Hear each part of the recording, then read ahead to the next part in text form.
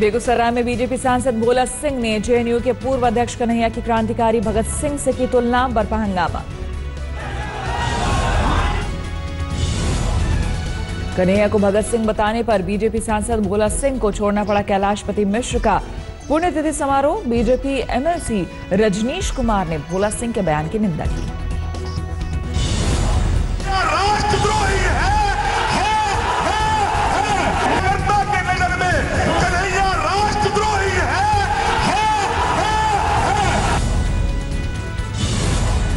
BJP सांसद भोला सिंह कार्यक्रम छोड़ने के बावजूद अपने बयान पर अड़े। बोले बीजेपी की है सरकार अगर कन्हैया देशद्रोही है तो घोषित करें।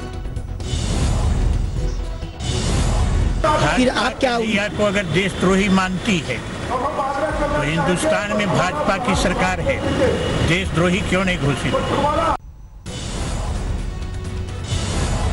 आज हिमाचल में सियासी घमासान। चुनाव प्रचार में होगा पीएम मोदी और राहुल गांधी का आमना सामना। दो दिवसीय दौरे पर आज हिमाचल जाएँगे पीएम।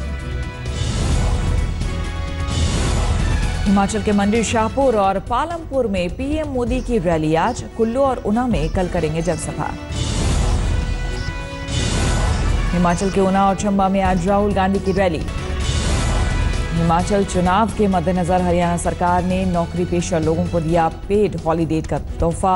हरियाणा में नौकरी करने वाले हिमाचल के मतदाताओं को 9 नवंबर को छुट्टी के साथ मिलेगा वेतन।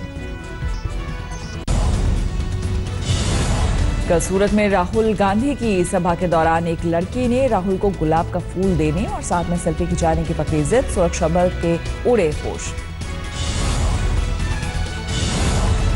लड़की गुलाब का फूल लेकर पुरुषों की गैलरी से होते हुए राहुल की ओर बढ़ी तभी सुरक्षा बल के जवानों ने उसे रोक लिया। राहुल के ऑटोग्राफ और फोटोग्राफ की एल्बम साथ लाई थी लड़की।